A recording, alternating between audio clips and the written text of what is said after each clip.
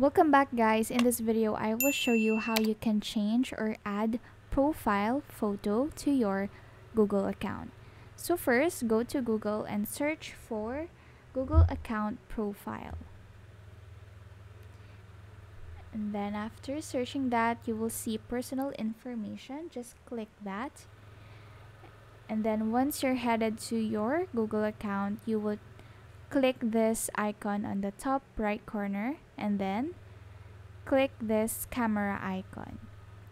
And then tap change.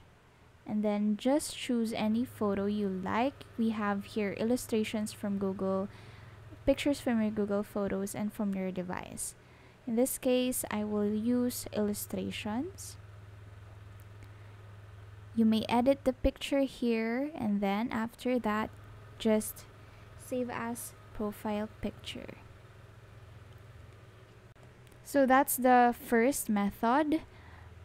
The second method includes Gmail app. So in your Gmail app, just tap this icon on the top right corner and then the picture icon or camera icon and then tap change. You may choose any photo just like a while ago and then you can also edit it in here and then just click save as profile picture. Just wait for it to save the changes and that's it.